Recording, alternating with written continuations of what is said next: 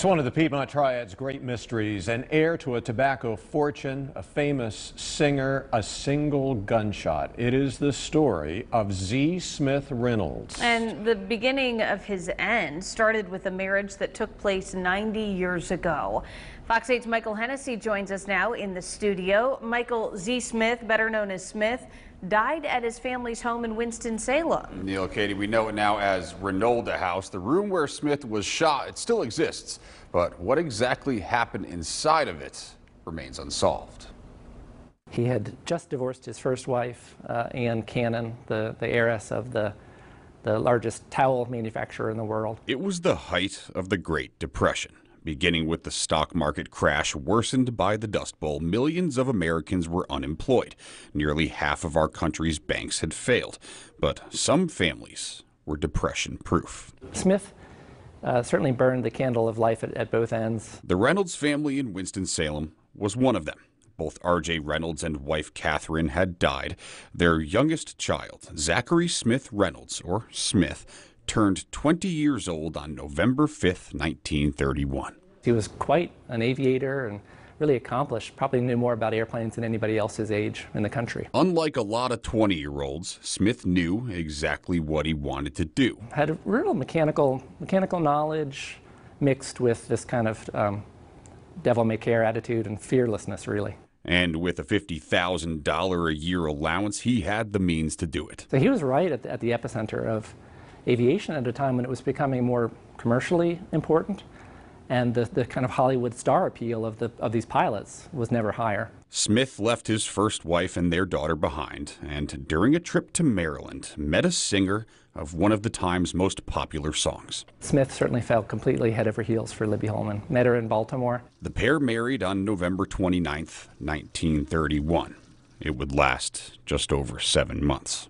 Came back to Reynolda uh, June of 1932 and really just lived here for one month until his death. On July 5th, 1932, Smith and Libby were hosting a party. The most notorious day in the history of this house. In a way, it's the most famous day, but it's also its, its saddest day. Drinks were served, barbecue was had as the night turned into early morning. Smith came back up to the house and couldn't find Libby for a time. And that's when Smith came across Ab Walker. Ab is Smith's childhood friend as well, and his secretary, kind of a, a do everything kind of gopher. The mystery of where Libby was was about to be solved, but another mystery was in the making. Libby is then seen uh, coming up from the lake, somewhat disheveled, um, grass stains. She'd been drinking clearly. The timeline was well documented thanks to the estate's night watchman. It's pretty remarkable how precise um, the times are, though who was doing what and who was in which room come under a lot of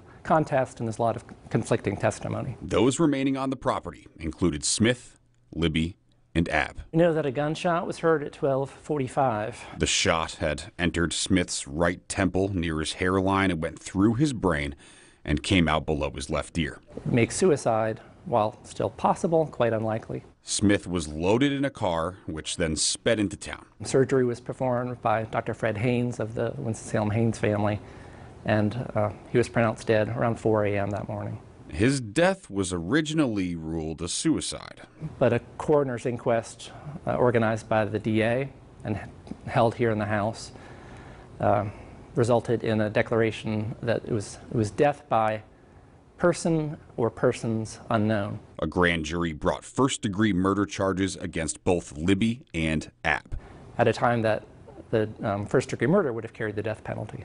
The money hungry American people became absorbed with the story. The hijinks of, you know, 19, 20 something year old children at a party with um, maybe too much means at their disposal and not enough adult supervision. Both Libby and Ab posted $25,000 bonds. Front page coast to coast news coverage of this story. But Will Reynolds, RJ's younger brother, penned a letter to the DA and the judge saying the family would be content were the case to be dropped. A very influential family, and they made their intentions clear, and indeed, this first degree murder case was simply dropped. Libby left Reynolda, but she wasn't alone. She was pregnant at the time of Smith's uh, death.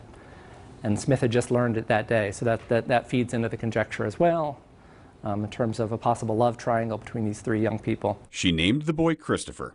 He died in 1950 at age 17 in a climbing accident. Libby lived until 1971 when she committed suicide. Part of her fame at this point is tied to the, the case and people's kind of uh, morbid curiosity about her, frankly.